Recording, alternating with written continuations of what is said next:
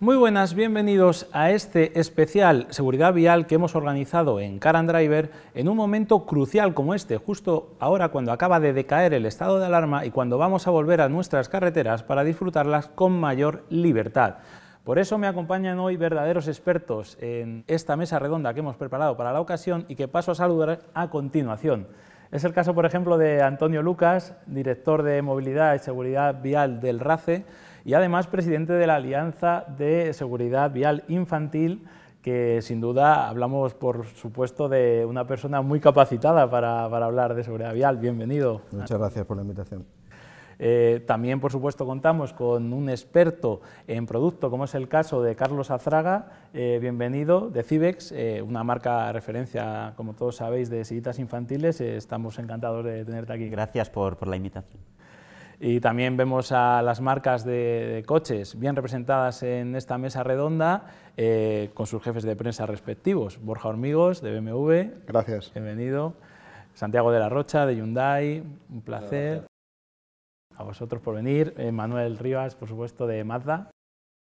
Muchas gracias y por la nada, sin más dilación, vamos a empezar hablando un poco de, eh, de este 2020 pasado, que vivimos un momento que quizá ninguno esperábamos estar totalmente encerrados en casa, prescindir de cualquier tipo de movilidad.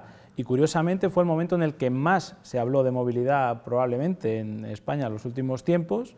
Y también cuando volvimos a la carretera lo hicimos como no podía ser de otra manera, quizá con demasiada euforia porque según vimos en diferentes estudios, eh, bueno, el exceso de velocidad y el mayor uso del teléfono móvil al volante fueron, Antonio, grandes protagonistas y es un cóctel molotov, ¿no? Sí, la verdad es que el año pasado fue un año atípico en todos los sentidos, incluso para aquellos que tuvieron un niño y no pudieron comprar una silla infantil, ¿no? entonces el año pasado fue un año, yo creo que para aprender en todos los sentidos y también para analizar qué pasó eh, en, en movilidad, lo cual también rompe una tendencia de los últimos años en el análisis que veníamos eh, teniendo en las causas de los accidentes y en dónde se producían. Es curioso ver cómo los accidentes pasaron de las carreteras secundarias a las autopistas y las autovías. Y también aumentó los, los, accidentes con distracciones y la velocidad. Yo creo que la falta de tráfico hace que hay una teoría científica que se llama la homeostasis del riesgo, es que cuando vemos una carretera en mejores condiciones y con menos tráfico, asumimos mayor nivel de riesgo, por lo tanto, estamos compensando esa falta de tráfico con el, riesgo de perder el control del vehículo. Y la otra gran, eh, el otro gran problema, digamos, que residía precisamente en el uso del, del teléfono móvil, que me parece, Borja, quizá casi lo más sorprendente o, lo más eh, fácil de corregir, quizá con los equipamientos multimedia que tienen los vehículos de hoy en día, como es el caso de, los, de la mayoría o la práctica totalidad de los BMW. Sí, yo creo que la conectividad es, ha sido una gran revolución. ¿no? Pensar hace unos años que los coches podían tener acceso a Internet o que podíamos enlazar totalmente nuestros vehículos con nuestros móviles, pues ha, puesto mucho eh, a, favor del automóvil con, con, esta seguridad en el uso de los dispositivos. ¿no? Y bueno, algo que, se ha democratizado y que sigue aún mejorando, pues con asistentes personales por voz que, nos ayudan muchísimo, con aplicaciones que permiten eh, pues esa integración total del smartphone con los vehículos. También las ayudas a la conducción, que también estamos viendo en la mayoría de modelos, incluso en los más asequibles de, las gamas, como la de BMW que estamos hablando, por ejemplo, también deberíamos de ayudarnos a reducir esos excesos de velocidad o esas situaciones peligrosas al volante. No sé si por ahí también quizá crees que pueda haber un margen de mejora para la seguridad vial general. Sí, yo creo que se ha democratizado ya hasta en las series más bajas, pues toda la seguridad activa que hay, ¿no? de mantenimiento de carril, control de velocidad y de crucero, etcétera, y mm, sobre todo las nuevas cosas que, están por llegar y que también están en las series más básicas, ¿no? cosas que nos facilitan la vida e incrementan la seguridad de nuestros vehículos, que es básico, ¿no? y cosas que además nos dan mayor comodidad y confort en el día a día, ¿no? como eh, desde la serie 1 tenemos un asistente de, aparcamiento y de marcha atrás, que el coche recorre marcha atrás los últimos 50 metros realizados marcha adelante, con lo cual mucho más fácil y más seguro salir de un aparcamiento de una situación engorrosa. Por ejemplo, son buenas soluciones las que proponen los fabricantes, como vemos, eh, de cara ya al presente, a la actualidad, al futuro más inmediato también. Y la DGT, el plan que, contempla para, para, este nuevo curso sobre todo, se cimienta, por lo que hemos visto, en cuatro grandes pilares, en cuatro grandes cambios en el código de circulación, que estamos viendo, Antonio, eh, como por ejemplo han incidido mucho en, todo el tema de, de, los excesos de velocidad, no permitirlos incluso ni para adelantar, por supuesto también castigar más duramente el uso de detectores de radar y también el manejo de los smartphones, como estábamos comentando. Y por último, la última gran pata, el usar adecuadamente los cinturones de seguridad y estos eh, sistemas de retención infantil. No sé, la estrategia general, estos cuatro grandes pilares, no sé eh, si te convencen, si crees que algunos están mejor que otros, o son acciones a perseguir o a mejorar. yo debo reconocer que a mí la DGT me tiene despistado los últimos meses porque parece que lo que quiere es quitar el coche de la carretera, ¿no? O sea, parece que tener un coche hoy en día, tanto si vas a la ciudad como ahora lo del pago por uso por las vías, eh, o las restricciones, o el aumento de los impuestos de matriculación y demás, entonces parece que, hoy, hoy, en día tener un vehículo es un lujo y utilizarlo más, ¿no? Pero obviamente hay algunas, algunas cuestiones que son importantes tener en cuenta a la hora de reducir la siniestralidad, que es lo que queremos todos. Y yo creo que esto es un buen ejemplo de ello. ¿no? Tenemos por una parte un fabricante de sillas infantiles, unos fabricantes de vehículos y unos usuarios. Y este trinomio es el que tiene que potenciarse. Obviamente la norma está para que no se ponga, la vida, no se ponga en peligro la vida de los niños, ¿no? ni tengamos ese riesgo de tener lesiones. Y por supuesto, lo más importante, ante todo y sobre todo, en todos los desplazamientos un niño tiene que llevar un sistema de retención infantil y la novedad ahora que introduce esa modificación de la ley que se está tramitando ahora, está en el, Senado, pero se tramitará en unos, esperamos antes de que acabe el año, es que ya no solo se sancione con cuatro puntos el no llevar una silla, sino hacerlo de forma incorrecta.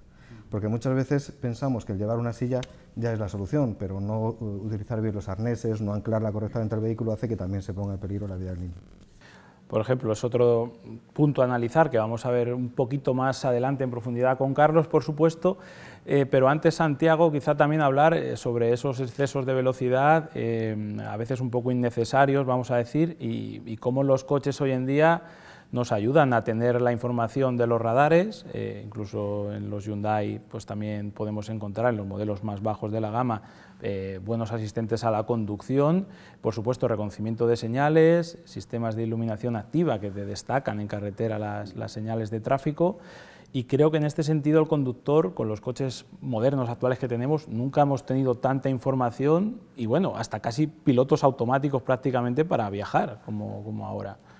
Desde luego, lo, lo que ha avanzado la industria del automóvil a nivel ayudas a la conducción, y en lo referente a, controlar la velocidad, a controlar las señales de tráfico, desde luego es impresionante. Al final, los accidentes se producen más por despistes humanos, principalmente, que no por lo que ha hecho la industria en sus vehículos. O sea, cualquier Hyundai, cualquiera de las marcas aquí representadas, cualquier vehículo de la industria ahora mismo, incluye todas las ayudas a la conducción, o prácticamente todas las ayudas a la conducción, vigentes ahora mismo en el mercado, que la industria se ha encargado de potenciar, de invertir miles de millones de, euros, de dólares, en desarrollar la máxima seguridad eh, activa en cualquier vehículo y al final ese binomio que hablaba antes del conductor con la seguridad, al final nos tenemos que concienciar de que al final eh, no podemos despistarnos como nos despistamos muchas veces al volante de un vehículo y en referencia también a la seguridad infantil que estáis hablando. Por ejemplo, nosotros hemos incorporado dos ayudas a la conducción muy importantes. Una te detecta si te has olvidado en las plazas traseras algún bulto del gran peso, una vez que tienes el coche, si te has dejado algo, sea un niño, o sea lo que sea, muy importante, te avisa con un chivato. Y luego otra ayuda importante en el caso de los niños, que es la salida segura del vehículo, que si vas a abrir la puerta y viene un coche, te bloquea la puerta y no la puedes abrir. Con lo cual, al final, la industria sigue invirtiendo para mejorar a pasos agigantados la seguridad en los vehículos y facilitar bueno, pues la vida de los pasajeros y sobre todo también de los niños. Totalmente de acuerdo. Quizás sea una de las cosas en las que más han cambiado para bien los coches que tenemos ahora mismo en el mercado y en la misma línea sucede con, los Mazda, Manuel. Eh, por ejemplo, a mí lo que más me llama la atención de, todas estas cosas eh, que denuncia la DGT y que algunos estudios pues, todavía reflejan eh, es el que la gente no use el cinturón de seguridad eh, hoy en día, que me parece algo tremendo, o que simplemente no, no viajen los niños con dispositivos de, retención infantil.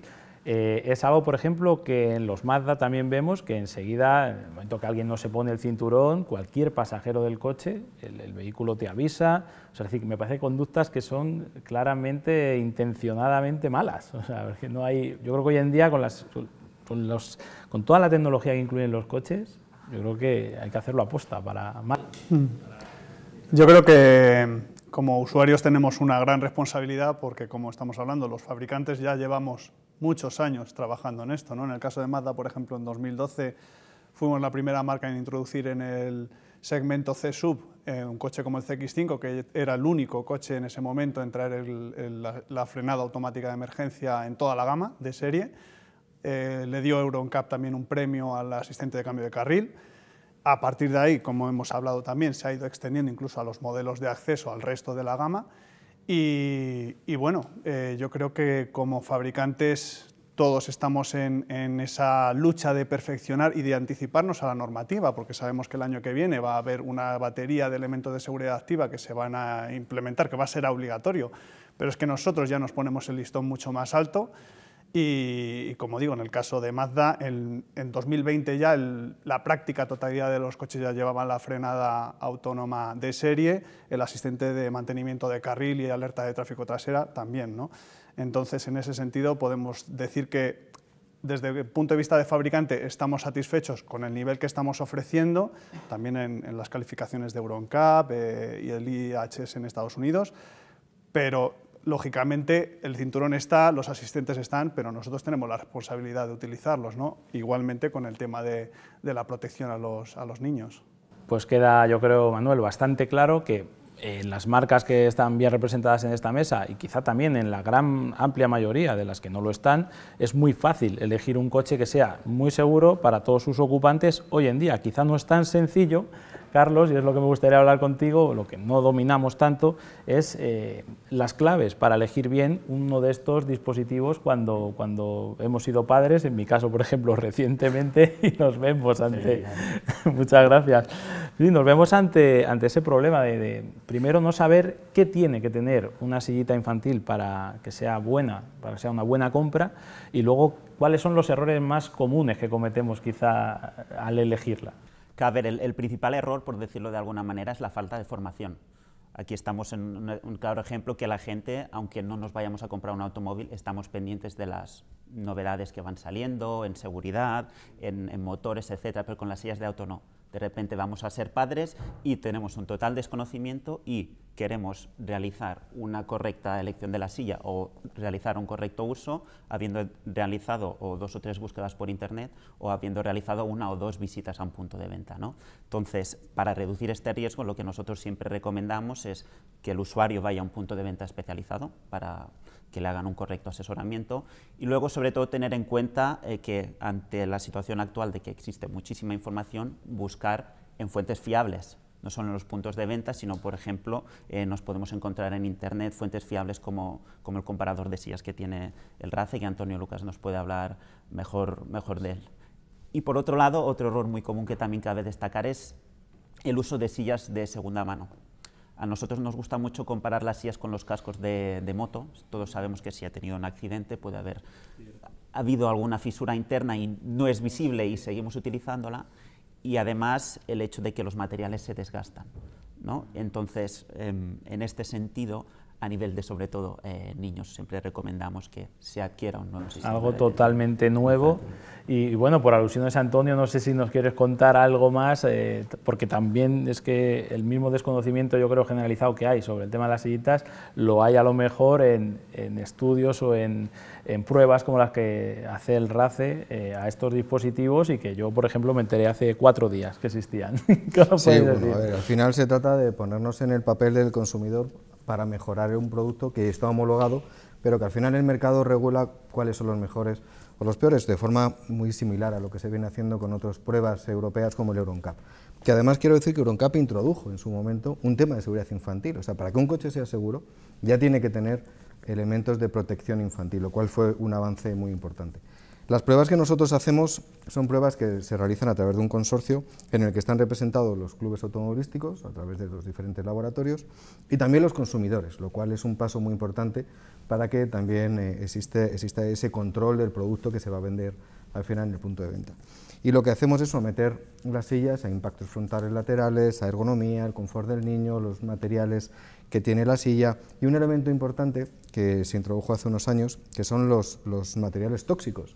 Porque de la misma manera que no queremos que un niño chupe algo que puede ser tóxico, pues una silla también puede tener componentes importantes. Y al final eh, esos resultados se evalúan a través de unas estrellas que lo que hacen es indicar pues, qué producto ha, sido mejor en estas pruebas y para que estas sillas tengan la mayor puntuación, el mayor número de estrellas que, al que hace alusión Antonio, me gustaría saber, Carlos, eh, cómo trabajáis con, con, estos dispositivos que vemos aquí muy bonitos eh, por fuera, pero que seguro tienen por dentro eh, mucha tecnología. Creo que es muy parecido a lo que se realizan con, con los coches, ¿no? y lo que ha comentado Antonio de las pruebas del EuronCap. nosotros realizamos crash test para, probar la seguridad de nuestras sillas. Por ejemplo, nosotros en Civex, en, la central en Alemania, tenemos un crash test propio, donde se realizan una media de 20 crash tests al día, con el coste que implica y, todas las pruebas que se pueden ir realizando a la hora de, integrar em, lo que son novedades y, probar qué es lo mejor y si realmente funciona. Entonces, cuando hablamos, Carlos, de seguridad vial, eh, ¿crees que es muy importante la relación que tengáis, por ejemplo, los fabricantes como Cibex, con el resto de, fabricantes de las marcas y quizá también con los medios de comunicación para divulgar un poco esta educación que nos falta sobre esto? Es muy importante también el binomio, el binomio que, que hablaba Antonio. ¿no? Nosotros tenemos que conseguir unir a la causa al máximo número de participantes posibles, eh, conseguir nuevos prescriptores. Entonces estamos hablando de que las sillas de los sistemas de retención infantil se usan en el coche. También nosotros, bueno, nos consideramos en parte pioneros de esta relación con, con el mundo del automóvil. Estuvimos en el, en el Salón del Automóvil en Barcelona en 2019. El año pasado no pudimos, pero nos gustaría seguir participando. Y bueno, de hecho nos encontramos que la gente... Eh, lo veía como una gran sorpresa encontrarse una marca de sistemas de retención infantil ahí, pero luego le encontraban toda la lógica, es orgánico, es, natural. Entonces, mucha gente de la que nos encontramos ahí como consumidores nos comentaban que estaban pensando en cambiar de coche porque iban a ser padres. Entonces, cuanto más gente unamos ah, y cuanto más prescriptores tengamos, más se va a reducir esta falta de formación que hemos estado, que hemos estado comentando hasta ahora, ¿no? y reducir los errores que hemos dicho de tengo que realizar una correcta elección de la silla, pero también un correcto uso. Pues no sé, a mí desde luego me, tiene fascinado, por ejemplo, como que, una marca de, este tipo de dispositivos tenga sus propios crash para, para, realizar pruebas y toda la tecnología que incluyen. Es algo que yo descubrí hace muy poco, de verdad, y me parece eh, fascinante. Yo no sé si Santiago, que tiene más experiencia, o Manuel, que también que tiene familia muy numerosa, no sé si vosotros también eh, valoráis especialmente toda la tecnología que, puede incluir este tipo de dispositivos, o si veis alguna mejora, Borja, también, si veis alguna cosa mejorar en relación con el coche, sobre todo centrándonos ¿no? en la relación con los coches actuales. Me ha sorprendido lo de los 20 crash test diarios 20, ¿eh? que hacen en Cibex, pero que me parece, no sé si son muchos o son pocos, pero que me parece fundamental pues igual que se innova tecnológicamente para mejorar la seguridad en los vehículos, en todo lo que protege a, los más pequeños, me parece igual de, igual de importante, igual de fundamental que, que lo que se invierte en un vehículo, invertir en, este tipo de, sillas infantiles para garantizar la máxima seguridad en caso de accidente. Yo diría que Tendemos a considerar a los ocupantes infantiles como ocupantes de segunda clase en el coche y hay una cierta tendencia, como decías, a heredar sillas y a coger sillas que a lo mejor no le hemos prestado y, ha quedado patente, que no es, el mismo, no es igual un fabricante que otro. ¿no? Uno hará 20 crash tests y a lo mejor el otro no hace nada y simplemente con pasar la barrera de homologación le vale y es suficiente. Pero creo que sí que debemos hacer un esfuerzo por eh, si tenemos un coche y tanto nos preocupa el tener unos buenos, eh, unas buenas evaluaciones en EuronCap, por ejemplo, que estos dispositivos de protección infantil estén en línea, ¿no? porque al final, si tienes un coche muy seguro, pero a tus hijos no los tienes eh, bien asegurados dentro del coche, y como digo, son ese segundo, ocupan ese segundo nivel, pues creo que, que hacemos flaco favor a la seguridad en general de las carreteras y de nuestra familia. Y yo hace dos años me encontraba en ese momento tan complicado de no tener ni idea de lo que tenía que hacer y lo que sí que tenía claro es que invertir en seguridad no tiene precio. Así que me asesoré a través del estudio del, RACE y fui a por la opción más segura, aunque sin importar el precio.